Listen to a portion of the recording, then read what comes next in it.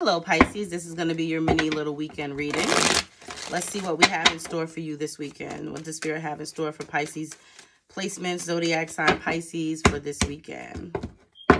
What we got, Spirit? So, the first one we have is masculine, separation, longing, hot Mars. Woo, attraction. Somebody getting a message. Mercury message, travel, communication. Somebody's going to take charge this weekend and reach out to you, Pisces. Deception, temptation, disharmony, triggers, conflict, truth, and expression. I don't know if this is somebody you should be messing with or not messing with, but I will say it's going to be something very tempting. Very, very tempting. This is probably somebody you've had a lot of arguments with, a lot of conflict with in the past, but the attraction is serious. And I feel like this is someone you have been longing for, but they have also been longing for you. And masculine, you may be the masculine, they may be the masculine, but the masculine energy to me feels more so like someone's taking the steps, like they're stepping up to the plate and doing it. Like, I'm going to do it anyway. All right, y'all. Hope you enjoyed. Have a great weekend, Pisces. Peace.